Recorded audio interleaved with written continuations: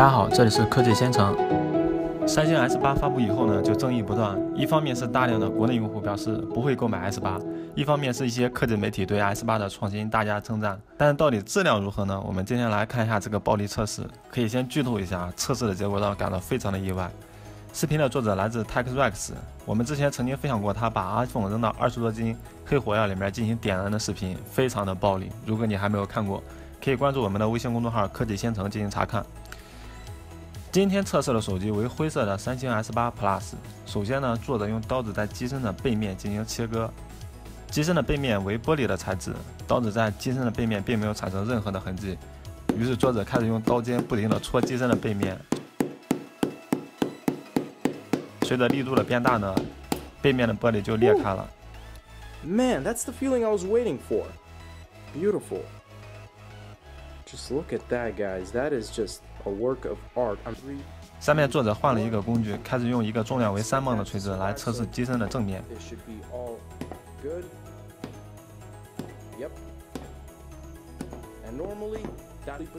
一开始只是让锤子在一定的高度自由的落下，屏幕并没有坏掉。于是作者开始用力地敲打屏幕。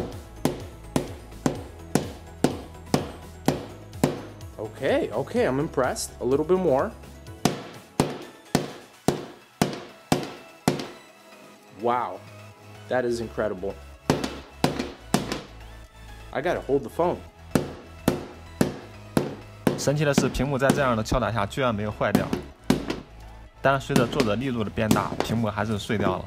下面的画风就变成了地主家的傻儿子系列，大家可以感受一下。 Circle of light. Wow, phone is still working.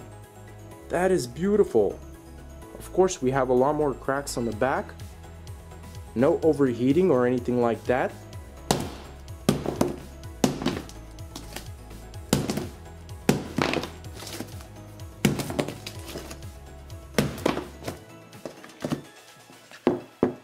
Okay, okay. So, does the phone still work?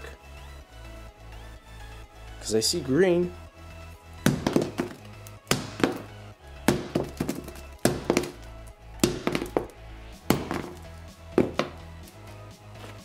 好了，测试的结果让我感到非常的意外。看来如果购买 S 八的话，手机壳是必须的了，因为背面太容易碎掉了。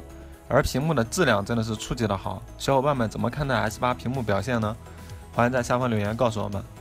好了，以上就是今天的全部内容。欢迎点击屏幕下方关注我们，我们会持续发布更多更好玩的科技视频。也欢迎关注我们的微信公众号“科技先程”。拜拜。